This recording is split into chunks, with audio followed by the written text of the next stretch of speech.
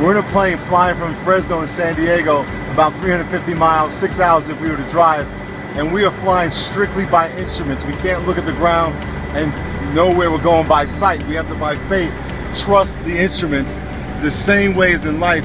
There's no way you can know where your life is going. Only God knows where your life is going. And the reason religion and rules and religion doesn't work is because they're not going to guide and direct you in real time. These instruments are going to tell us how high to fly, where's the most efficient uh, altitude to fly. They're going to avoid weather in real time. Same way God is going to direct you through his relationship in Jesus Christ. God is going to direct you in real time where you're going to go in your life because you don't know where your life is going. You may know where you want it to go, but you don't know how to get there because you've never been there. God does.